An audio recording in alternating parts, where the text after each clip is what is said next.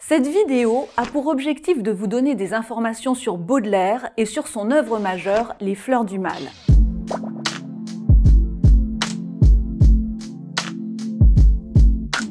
« 1821, naissance de Charles Baudelaire à Paris. Alors que sa mère n'a pas 30 ans, son père en a plus de 60.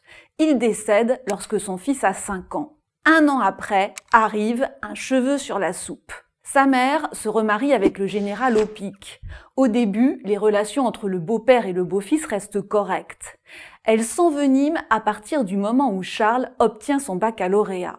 On commence en effet à s'interroger sur la carrière de ce dernier. Deviendra-t-il haut fonctionnaire, magistrat, diplomate?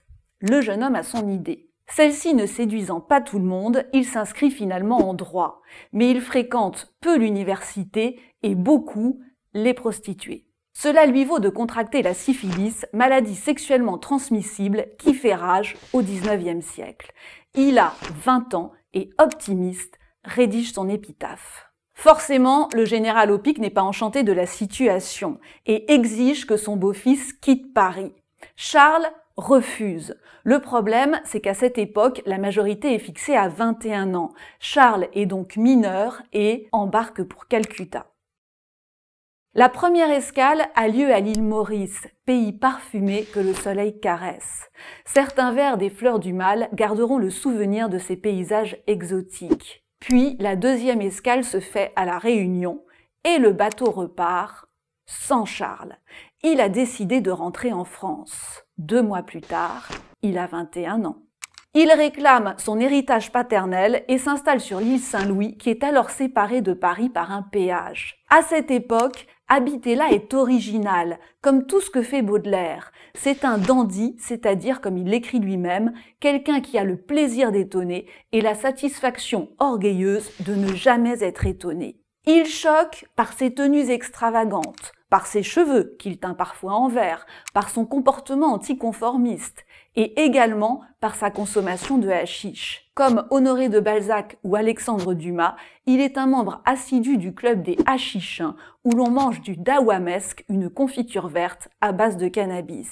Surtout, il fume de l'opium. Il a commencé à prendre cette drogue pour calmer sa syphilis et a fini par en devenir dépendant. Enfin, Baudelaire choque par son rapport à l'argent.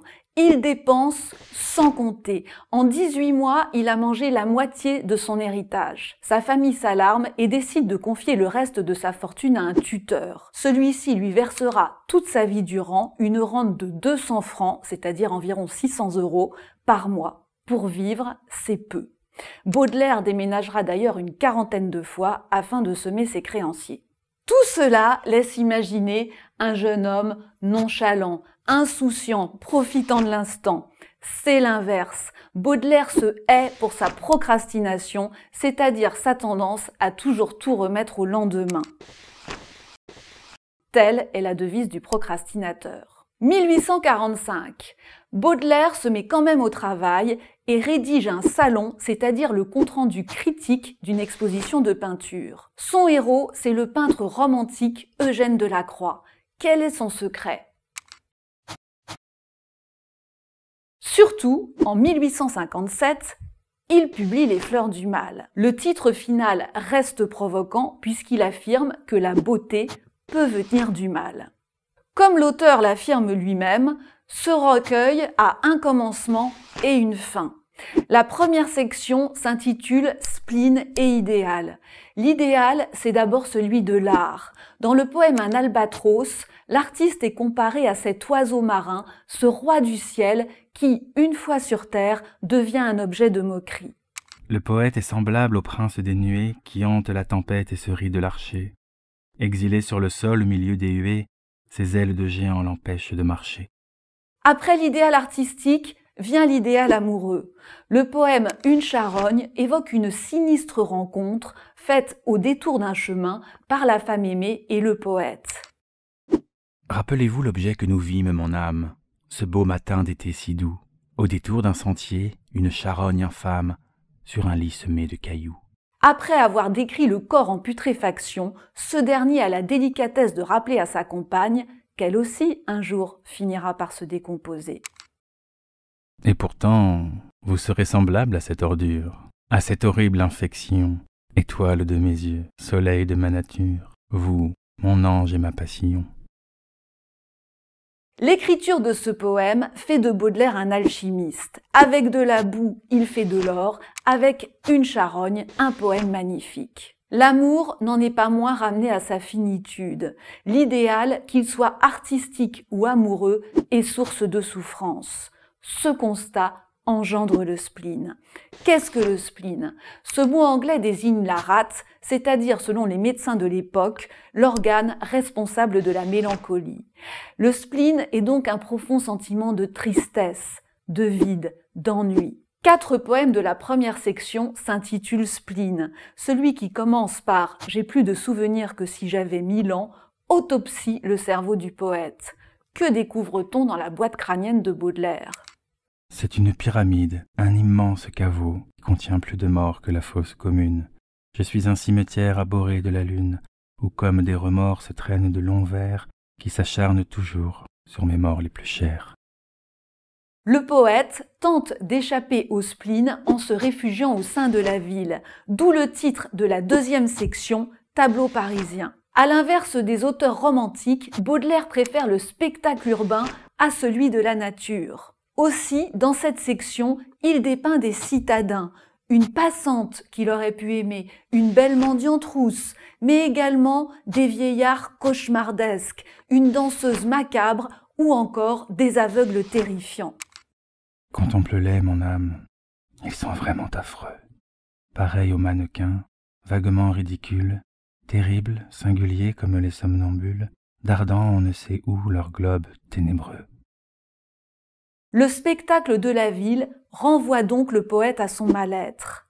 Le vin, troisième section, ou encore les fleurs du mal, c'est-à-dire les femmes, quatrième section, ne mettent pas non plus un terme à sa souffrance. Dès lors, le poète se rebelle contre Dieu, d'où le titre de la cinquième section, La révolte. Il y adresse une prière non au Créateur, mais au diable, les litanies de Satan.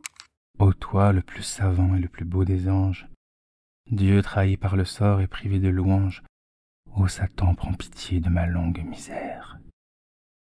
Au terme de ce parcours reste La mort, sixième et dernière section, qui se clôt par le plus long poème du recueil, Le voyage. Ô mort, vieux capitaine, il est temps, levons l'ancre. Verse-nous ton poison pour qu'il nous réconforte. Nous voulons, tant ce feu nous brûle le cerveau, plonger au fond du gouffre, enfer ou ciel qu'importe au fond de l'inconnu pour trouver du nouveau. 25 juin 1857, Les Fleurs du Mal est en vente. Sitôt publié, sitôt condamné. Le Figaro publie un article incendiaire. Le parquet est saisi pour outrage à la morale publique. La parole est au procureur Ernest Pinard. C'est maintenant au tour de l'avocat de Baudelaire de prononcer sa plaidoirie. Résultat des courses, une amende et six poèmes interdits. Mais le scandale rend Baudelaire célèbre. Stimulé, il connaît alors une période de création intense. Enfin, intense. Euh. Il écrit quand même 32 poèmes pour remplacer les six interdits, et c'est également à cette époque qu'il entreprend les petits poèmes en prose. Mais ses incessantes provocations lui nuisent. Criblé de dettes, sans éditeur, souffrant de la syphilis, il décide en 1864 de quitter la France. En Belgique, on l'ignore. Il déverse alors sa hargne en composant des épigrammes assassines sur ce pays et même une épitaphe. Seules les églises baroques belges trouvent grâce à ses yeux et notamment Saint-Loup de Namur. Alors qu'il la visite en 1866, il fait une chute dont il ne se remettra pas. À moitié paralysé, il a également perdu l'usage de la parole. Ses propos se réduisent désormais à un unique juron. Crénon est l'abréviation de Sacré nom de Dieu. À l'époque, c'est un blasphème. Jusqu'au bout, Baudelaire aura réussi à choquer. Sa mère le ramène à Paris dans une maison de santé où il mourra un an plus tard, rongé par la syphilis. Il a 46 ans. On l'enterre au cimetière du Montparnasse, dans la tombe du général Opic.